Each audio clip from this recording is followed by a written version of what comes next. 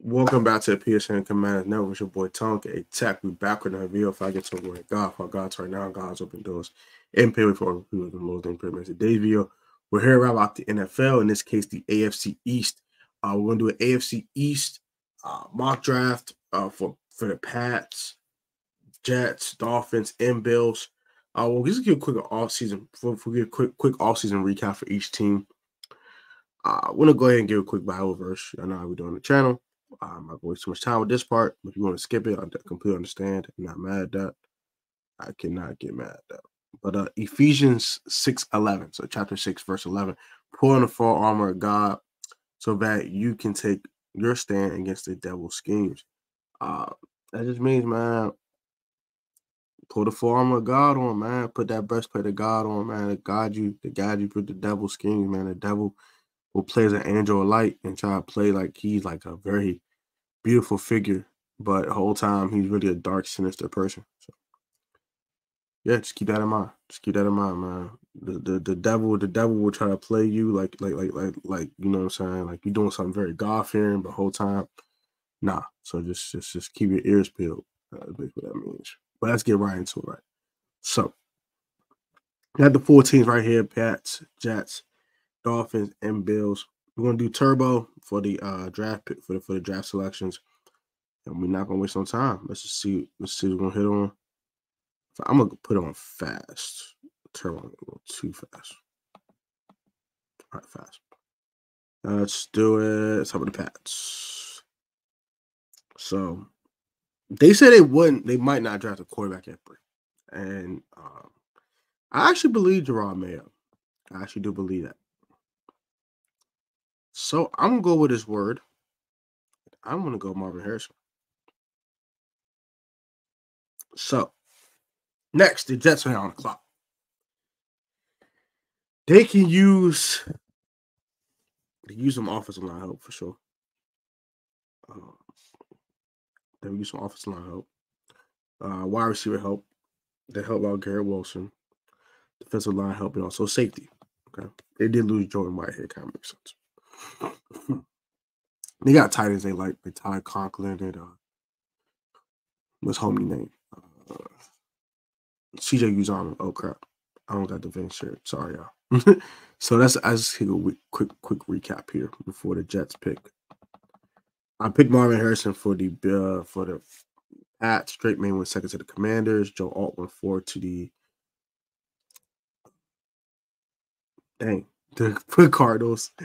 The Charge went with Rome Odunze. Jayden Daniels went six to the Giants, which I think that's insane that he fell that long, but whatever. Malik Nabers goes seven to the Titans. I think picked up Calvin, really? Interesting. Uh, Jared Verse went eight to the Falcons, and then Dallas Turner went nine to the Chicago Bears. And now the Jets are not on the clock. Give me one second, be right back. So, my fault. I had to go do something real quick. But yeah, just on the clock. And they don't have a lot of picks early in the draft. A lot late in the draft. So they kind of got to make this one count. it's kind of tough. They don't have another pick until 72. So you might want to get out of 10. I think I want to get out of 10. Let's get out of 10 because I don't think it'd be the move.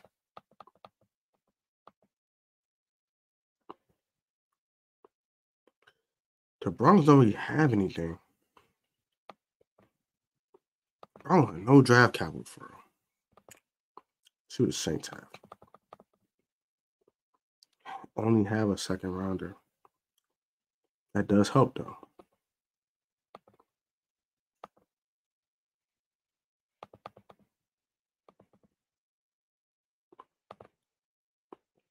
All right, cool. So we're gonna get the 45th pick, and we let the we let we, we, we, let the, we let them go. JJ McCarthy, what the heck? I guess they weren't gonna come up for a quarterback. I guess. Olu at 12, Taliese Fuaga at 11. Tackle crop sound like a little thin over there. But the interior defensive line crop ain't looking too ain't looking too thin though. It's hard to pass up on a talent like Brock Bowers. to help out your quarterback. They do have tight ends they like. Well, I'm gonna go with I'm gonna go with Jer'Zhan, Jer'Zhan Newton right here for the Jets. Now, Quote Brock Bowers goes to the Rams and goes play with Matthew Stafford and Sean freaking McVay. Hmm. oh, and Tyler Higbee, by the way. and Puka Nacua. And a glass of Cooper Kupp. I would love that fit for the I would love that fit for the for the Rams. That'd be insane. That would be insane.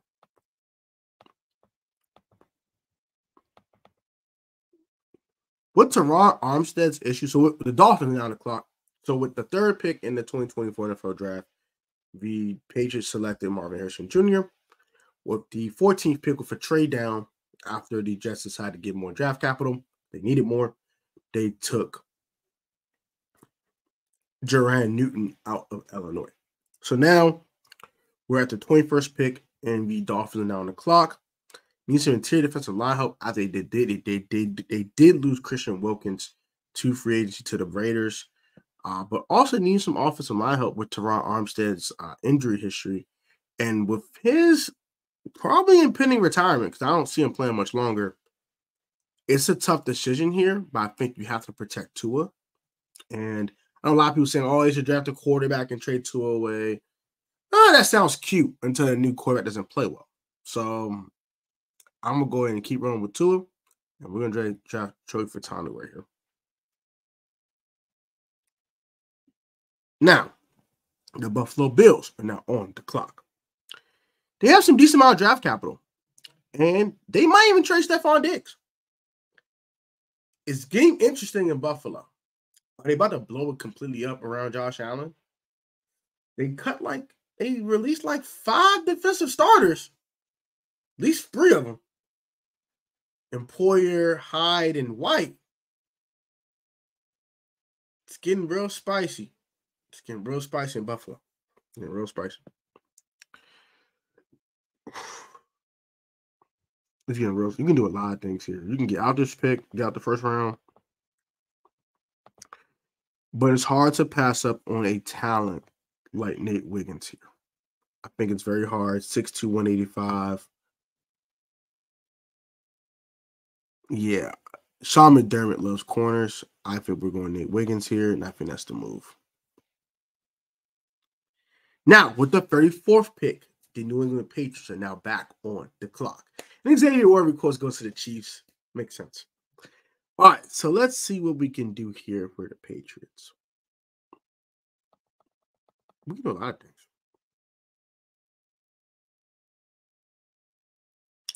Could go edge rusher. Could go quarterback here too could go wide receiver. My veins a very wide receiver uh, deep class. So I think it's time to go ahead and get your quarterback in the future while you still can. Michael Penix available, you take. Him. Now, the Jets are now on the clock after their trade with the New Orleans Saints. Oh,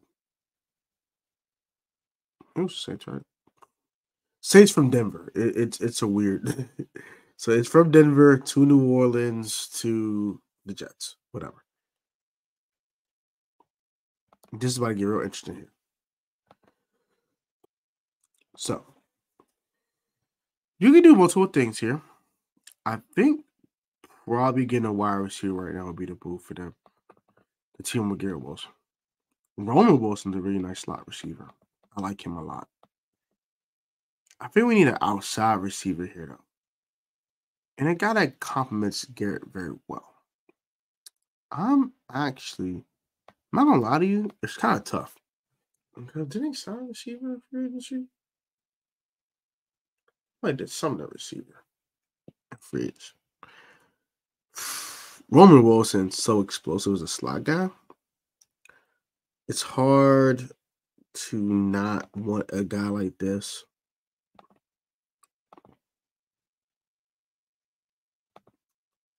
in your slot. Hard. Kind of hard not to want a guy like this, to not want a guy like this in the slot for you, right?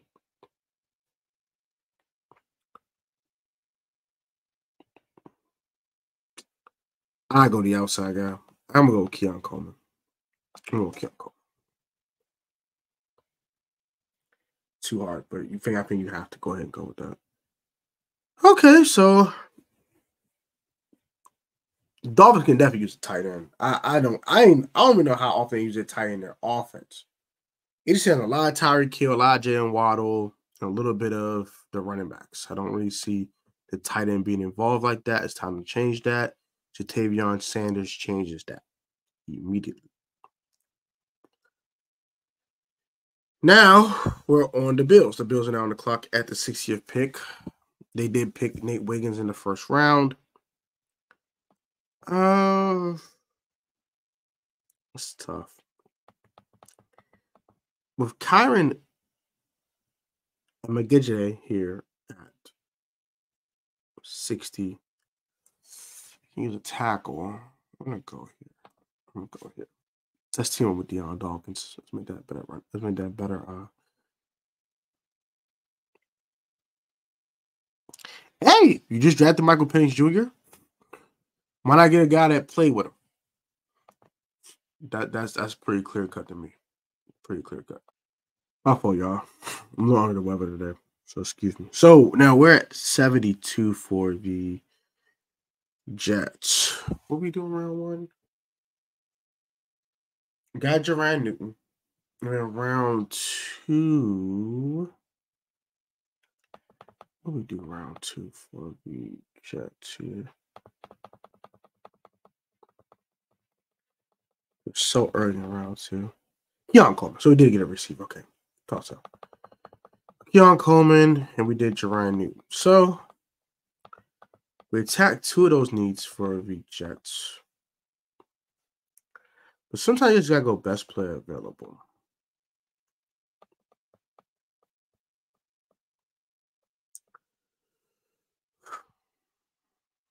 It's tough. It's tough because it's maybe a little early for Blake Fisher, but I'm gonna go ahead and take him now.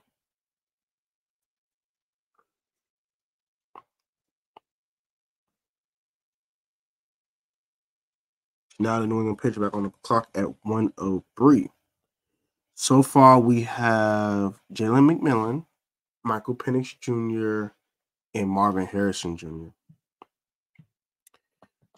So we went pretty offensively laden early in the draft, which I think we sh- the, the, Patriots should do. Honestly, I think they should do that. that the best edge rusher available was Xavier Thomas. that sucks.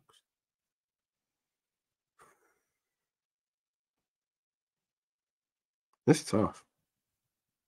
It's tough. They did pick up Antonio Gibson this offseason, but I think you kind of want to. And you got Rhamondre Stevenson, so you're fine at running back.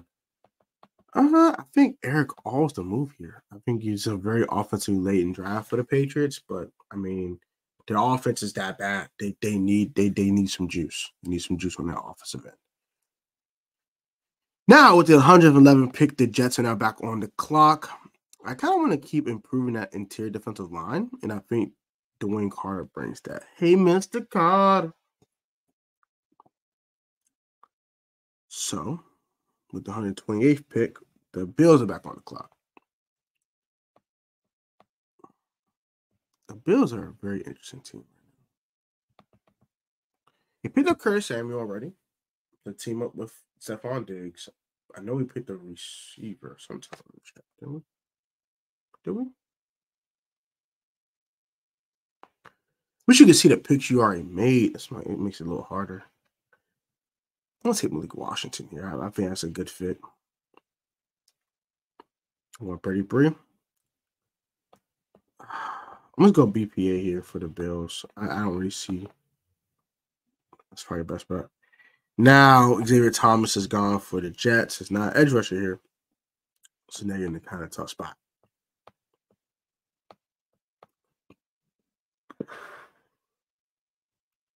McKinley Jackson here sounds good for them to continue to, to improve their interior defensive line. Now the Patriots back on the clock here. You can add no corners. Kamal Hadden could be a really good corner for you and play special teams. Uh, 144. It's interesting. 144 is interesting here. I like Isaac Guerendo for the Bills.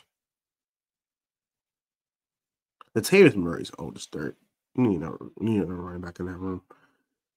Uh, 158 for the Dolphins. I've not seen the Dolphins in a while.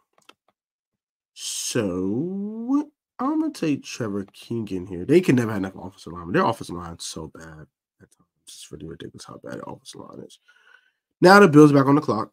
The Bills got all these late picks. I mean, it doesn't really matter. it makes it kind of weird for me. Uh, CJ Veteran could sound like a nice step linebacker for you here. Diamond pick here. That's might need a court behind Josh Allen to develop as a backup. Austin Reed sounds interesting here. Next pick will be New England. Next pick is New England. That's one. Oh,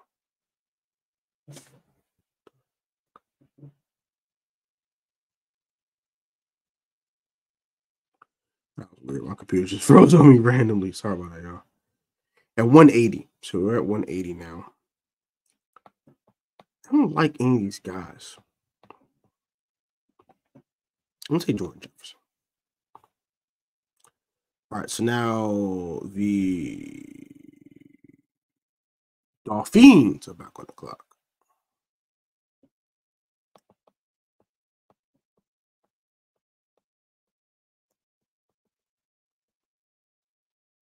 Ah, take Deshaun Anthony here. Not really draft, he's drafting best player available at this point. Tyrone Trace the best player on the board at the time, so we're just going to take him for the Jets. Uh, I'm not a big fan of drafting two running backs in the draft, so I'm gonna leave that one alone. Tip Tip Reiman sounds interesting for the Bills to continue to have more depth. I'll take Curtis Schrader here for the Patriots. I'll take Jalen Green here for the Dolphins. Uh, for the Bills here at 200. They did give of Mitch Morse, just like a guy you can kind of develop in Hunter, in Hunter uh, from Penn State to be your next center. Uh, then you have another pick right here, 204. I would take Anthony Gould here for more depth at wide receiver.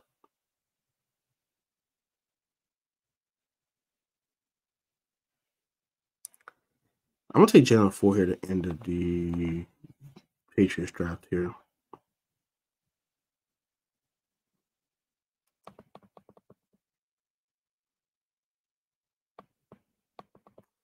Take Donovan Jennings here to develop behind um, Armstead eventually. Maybe a nice swing tackle for you. To the developmental quarterback already.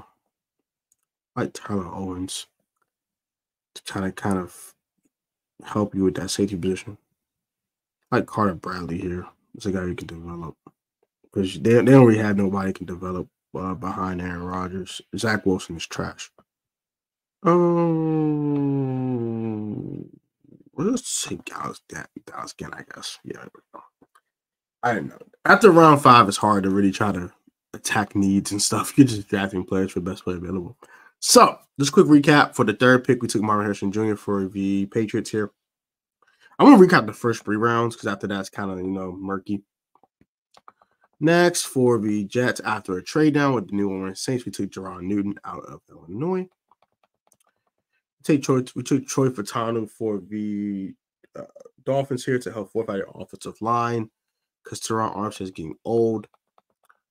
Nate Wiggins, uh, they they they got rid of Tre'Davious White. Obviously, they need a corner, so go get a corner. Uh, Michael Penix Jr. at 34. This sounds about right for Michael Penix. I think like either late first, early second this is good value. Uh, I really think this is a good pickup. And you already have Marvin Harrison Jr. to throw the ball to. So you already have a really good receiver to throw the ball to for him already. So that's good. And they're going to continue to improve the offense in free agency as well as for the rest of the draft. So good move by the Patriots there. Next, the 45th pick, another wide receiver come off the board. This time it's Keon Coleman, wide receiver from Florida State. He comments Garrett Wilson very well because he wins with um, strength and uh, high point of football being strong at the point of release, things of that nature, while Garrett Wilson kind of smooth operator, uh, winning with speed and winning with quickness and agility. He does the same. He does the exact opposite. I think they're great compliments to each other. I think that's a great fit for the Jets at 45. Next, we have Ja'Tavion Sanders at 55. Any tight end. They their tight end is so non-existent. Their offense is ridiculous. It's time to change that, and this just makes perfect sense. Uh, current Kiran Amegadjie out of Yale. They need another tackle to pair with Dion Dawkins, and I think it's a good fit. He can play right tackle. He's not forced to play left or anything like that. It's a good fit. Jalen McMillan, he played with Michael Penix. There, there's no need to say the best on the board, and he played Michael Penix, which makes sense. Blake Fisher, they need another tackle. They don't really have a lot of tackles in their room. They can use one. Next, their pick was forfeited because they do stupid stuff. Let's keep going here. Uh, round four, Erick All. Ain't never tight end next to Hunter Henry. DeWayne Carter, more defensive line help for the Jets. I'll recap the fourth round real quick. Malik, Malik Washington's uh, a nice gadget guy that you can use. They might kind of have two guys like that with him and Curtis Samuel, and also Shakir. It might be a little overkill, but I just really like Malik Washington's um, versatility. Uh, and you can have enough guys that are versatile. Even though it could look like it's overkill um, at first glance. Van Xavier Thomas, more help on the edge to help out Von Miller potentially, and then McKinley Jackson here um, for the Bill for for the Jets, and that's going to do it for the recap. Um, after that, everything gets a little murky. I know Isaac. I I I Isaac Guerendo going to the Bills, or no, I am going to yeah the Bills because uh, of Latavius Murray's age. So that's going to do it for the 2024 NFL mock draft for the AFC East. Hope you guys enjoyed. Like, comment, subscribe. You Guys, be safe, stay healthy, and I'll catch y'all next one, man. Peace.